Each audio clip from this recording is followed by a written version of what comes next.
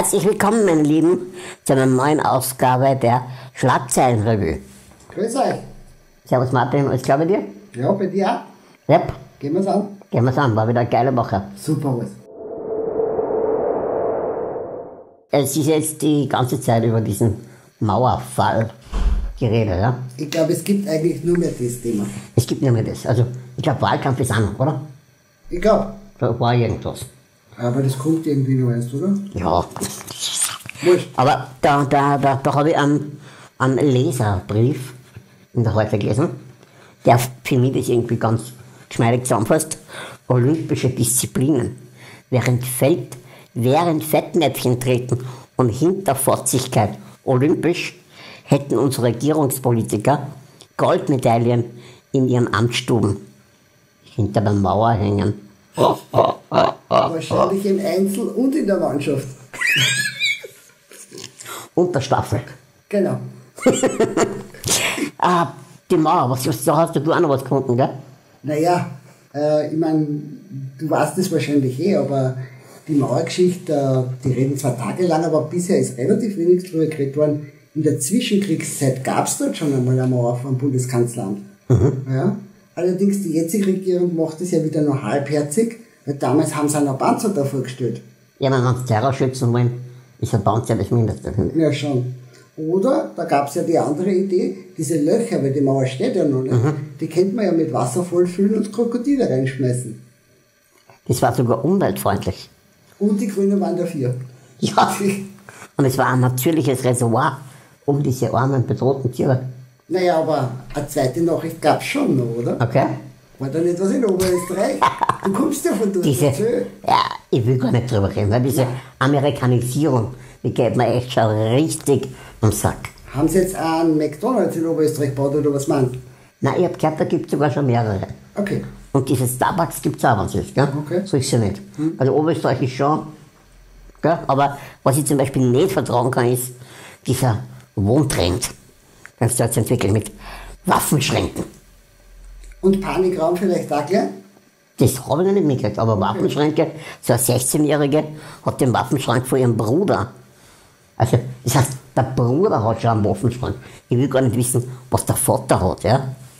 Aber einen Waffenschrank und dann da schießt irgendein Freund oder eine Freundin von ihr mit der Puffen. Brutal. Voll amerikanisch. Wahnsinn. Das war eigentlich wieder eine starke Leistung von der heute, weil als Qualitätszeitung bringen die die Geschichten auch länger.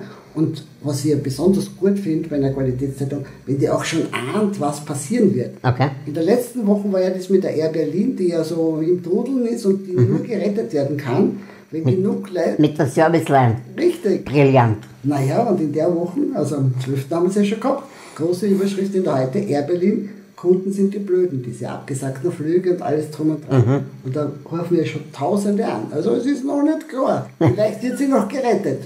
Und wir haben es zuerst gelesen? In der Heute. Natürlich. Ja, was sonst? Also das finde ich mal eine schöne Nachricht.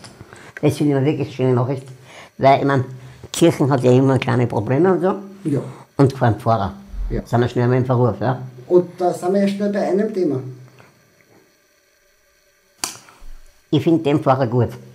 Ja, was hat er gemacht? Er ist nicht wegen Kinderbelästigung in der Zeitung. Das ist ein Fortschritt.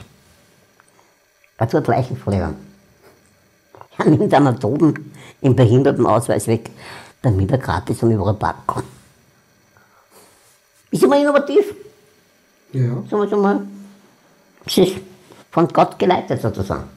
genau. Und ich meine, hey, sie hat eh nicht knaufen damit. Sagen wir ehrlich.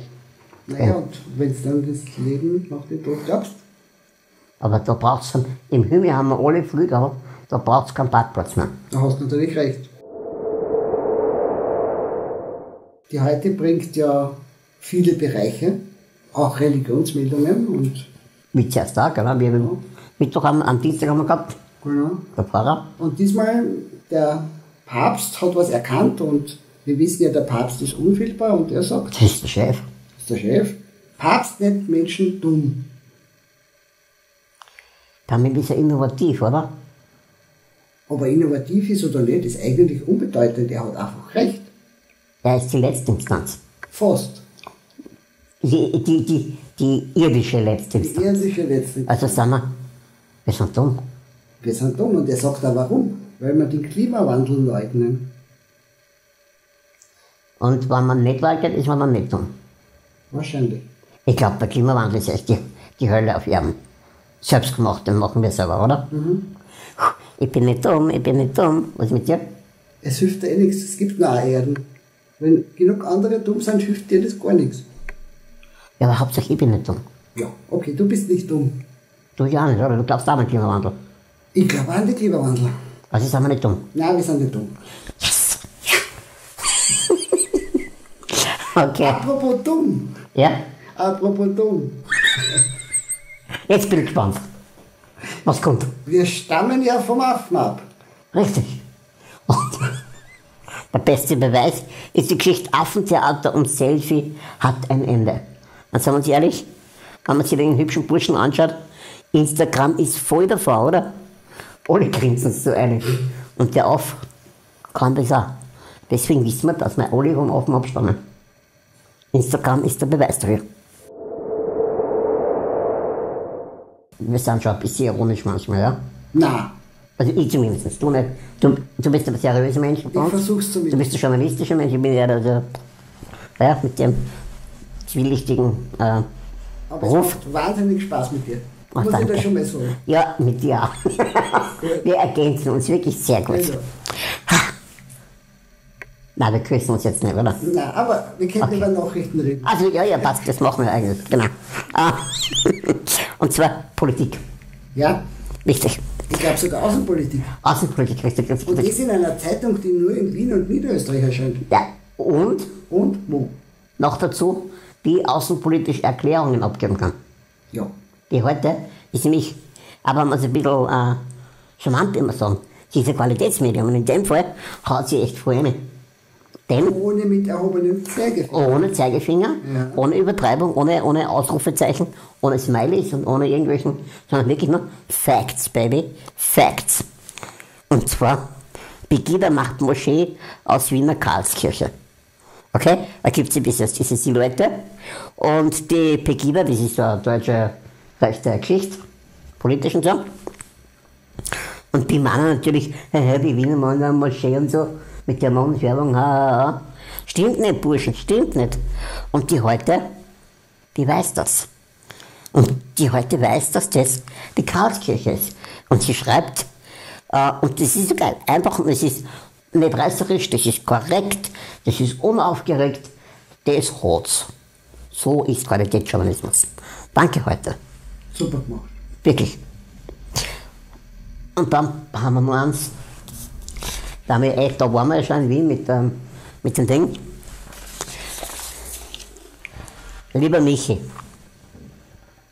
Papa Wien, Genau. Chefe, Seit gefühlter Ewigkeit, so 170, 150, 125, 17, wie lange ist wirklich? ich glaube 24 Jahre. 24 Jahre. Und du schaust keinen Tag öder aus, Mann. Nein, das ist jetzt übertrieben. War das übertrieben? Das war übertrieben. Na Aber er hat gut. sich gut gehalten. Er hat sich gut gehalten. Also mal Happy Birthday zum 68.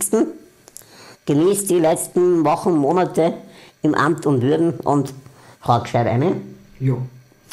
Und also zu dem Anlass gratuliere heute wirklich, ich meine, wir machen das jetzt schon ein paar Wochen und haben schon einige heute jetzt intensiv gelesen. Wir sind ja nicht nur so, wir plaudern durch und interessieren uns. Nein, nein, wir schauen das konkret an. Wir Wir analysieren uns, genau.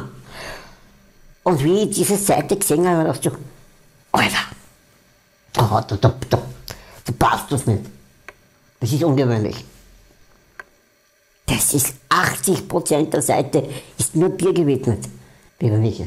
Da brauchst du von Endstation bis Endstation, bis du das gelesen hast. Mit der U3 aber, gell? Genau. Ja, nicht mit der, mit der alten U2, Ja, genau. sondern mit der, mit der richtig langen U3. Das war echt lang. Und haben so richtig spalten, spalten, spalten. Aber das hat sich ausgezahlt. Wahnsinn, also wirklich. Michi, du bist der Wahnsinn. Ich meine, sehr klar, nicht umsonst ist man so lang Bürgermeister. Aber ein kurzes, kurzer Ausschnitt. Ich habe echt fast angebrust. Ich hab das auch in einem öffentlichen Raum gelesen und hab uns so lachen müssen. Die Leute haben nur noch geschaut rund und um. Ja. Das war Wahnsinn. Und zwar die heute fragt dich, sie feiern ihren Geburtstag auf der Tribüne, weil heute äh, am Donnerstag ist Fußballspiel gewesen. Du hast gesagt, du gehst dahin. Und dann deine Antwort, nicht nur, schon auch mit Familie, Freunden, Mitarbeitern. Am Nachmittag spielt eine Blasmusikkapelle für mich im Hof, im Rathaus nehme ich an. Und die heute fragt, klar fragt man das, ja, was spielt sie? Deine Antwort, Blasmusik. Ich sag da ganz offen, wenn der kein Politiker war, der hätte als Kabarettist überlebt. Ja, Vollgas! Die Blasmusikkapelle spielt für mich. Und was spielt's? Blasmusik. Blasmusik. Brillant! Nochmal, alles Gute zum Geburtstag. Super. Lass es krachen. Ja. Martin, und was ist mit der Freitagsausgabe?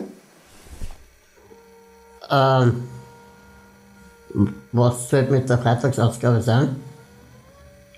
Ähm, ich hab sie natürlich nicht. Freitagsausgabe. Und was ist das da? Glaubst du, dass ich es übertrieben habe? Ich glaub fast ein bisschen. Ich wollte einmal, ich mein, Es kann aber keiner mehr behaupten, dass wir keine Freitagsausgaben haben. richtig. Aber die lesen wir jetzt nicht, oder? Nein. Okay. Passt. Leute, wir sehen uns nächste Woche wieder. Tschüss. Tschüss, Baba.